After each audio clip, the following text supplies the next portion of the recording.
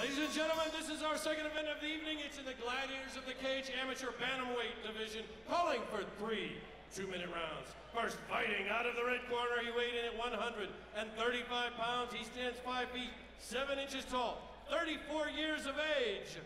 He's a record of 1 and 0, fighting from Reed Academy and G-Force MMA from Cincinnati, Ohio,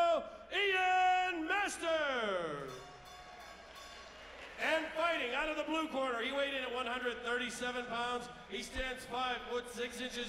He's 26 years of age and has a record of 0 1 from Stout Training. Pittsburgh, Pennsylvania, Brazilian Jiu-Jitsu MMA from Flint, Michigan,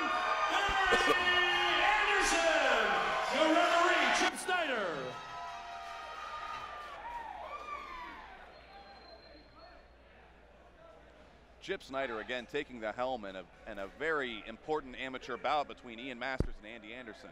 Not a better guy that we could ask for to referee this fight. He's the premier referee in all of the Pennsylvania area right now, maybe tri-state area. Wow, big kick by Masters.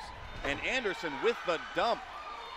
Boy, I'll tell you what, it'd be tough to be in this with Andy Anderson in your side control. Absolutely. Anderson doing some work, trying to make sure that Masters is not able to do the wall climb as he wishes. He's staying in close. Good job of Masters, working his way up.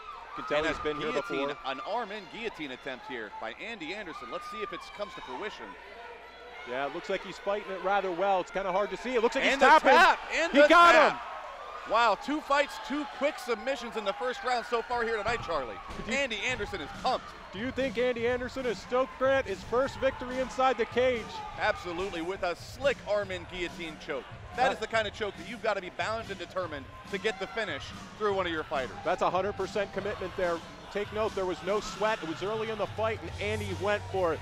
Kudos. I love to see a guy go for it and take the risk. He took the risk. He found the great reward. Absolutely. Anderson was leaning and listing slightly to his right and ate a decent kick by Masters, but used it to turn into a nice takedown.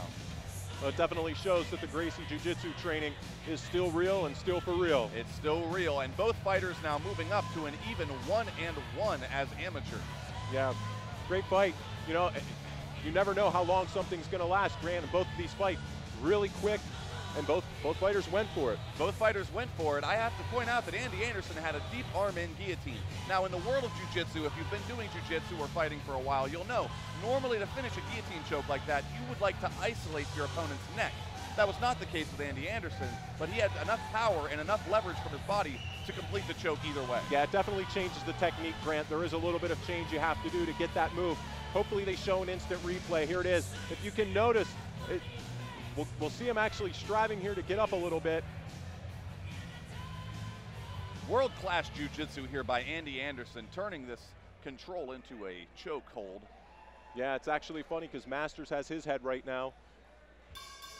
Let's go to our ring announcer, Dan Bogan. Ladies and gentlemen, they're not wasting any time this evening. At 1 minute and 31 seconds of the first round, your winner by guillotine choke, fighting out of the blue corner, Andy Anderson!